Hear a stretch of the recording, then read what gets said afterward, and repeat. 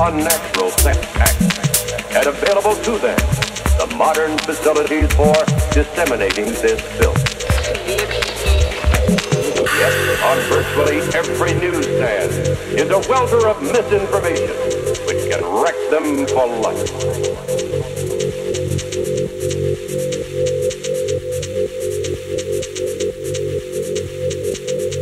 Bought openly by anyone in drugstores, groceries, delicatessens, terminals, malt shops, cigar stores, newsstands, all over the community. Community, community, community, community, community, community, community, community, community,